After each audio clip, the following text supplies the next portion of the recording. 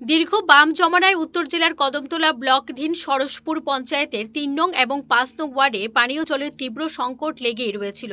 রাজ্যে পালাবদলের পর BJP IPFT জোট সরকার রাজ্যে প্রতিষ্ঠিত হওয়ার পর ওই দুই ওয়ার্ডের জনগণ পানীয় জলের স্থায়ী নিরসনের জন্য বহুবার দরজায় দরজায় করা নেড়েছেন। কিন্তু কি বাম, কি রাম, সমস্যা সমস্যাই রয়ে গেল।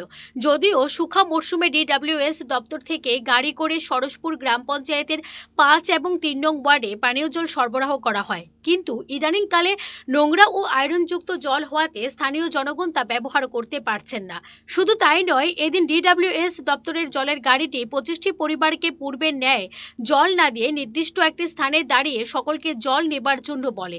আর তাতে স্থানীয় জনগণ ক্ষোভে ফেটে পড়েন। সকলে একত্রিত হয়ে স্থানীয় সরসপুর গ্রাম পঞ্চায়েতে ঘেরাও করে প্রতিবাদ শুরু করে। উত্তেজিত জনতার অভিযোগ, জলের ট্যাঙ্কি গাড়ির চালক নাকি জানিয়েছে, ওই এলাকার নেতা বলেছেন, এক জায়গায় দাঁড়িয়ে জল দেওয়ার জন্য। তাই এক জায়গা থেকে সকলকে জল নিতে হবে। এদিকে দীর্ঘ কয়েক ঘণ্টা পঞ্চায়েত ঘেরাও থাকার পর উত্তেজিত জনতাকে পঞ্চায়েতের তরফ থেকে আশ্বস্ত করা হয় যে, এখন থেকে পঁচিশটি পরিবারকে পূর্বের মতো বিভিন্ন স্থানে স্থানে পানীয় জল সরবরাহ করা হবে।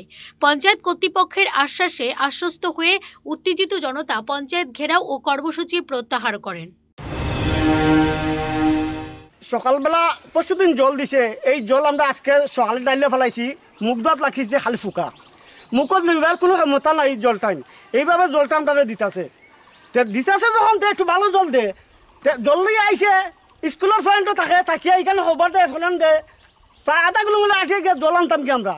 এই কতদিন যে দিল তারা পনেরো দিন থেকে জল দিতেছে, একদিন, দুই দিন পর পর যে বাজে জল। ওইরকম যদি বাড়ির সামনে রাখিয়া হয়তো আমরা সাত ছয় বাড়ি আছেন সব বাড়ি জল নিতাম মাতা হ্যাঁ এটা করছে না আজকে এই পয়েন্টে দাঁড়াইছে এই তুমি কাতে দাঁড়াইছে দাঁড়াইয়া তো কুন্দি কুন্দি গেছে গিয়া। আর আমরা জলার কলসি লইয়া মেলুকে সব রাস্তার মধ্যে হ্যাঁ এখনও সব খালি আমরা এইখানো। ইটা গেল। প্লাস হয়েছে আজকে দীর্ঘ বিশ থেকে পঁচিশ বছর থেকে আমরা জলের খুব ভুগতেছি। হ্যাঁ এই এখনকার দিনত দেখুন আমার বাড়ির রিঙ্কু আছে সরকারে দিছে। ওই বাড়িতে রিঙ্কু আছে দেখুন একটা জল আছে নি। আমরা যে জল খাইতাম খাওয়ার মতো জল দিতেছে না তাহলে কীরকম খাইম আমরা? চানের কথা দূর থাকুক। এখন দেখার বিষয় আগামী দিনে ওই এলাকায় পানীয় জলের স্থায়ী সমাধানে কি ব্যবস্থা গ্রহণ করে সংশ্লিষ্ট কর্তৃপক্ষ? নাকি পানীয় জলের সমস্যা সমস্যাই থেকে যায়? Bureau report search India TNN.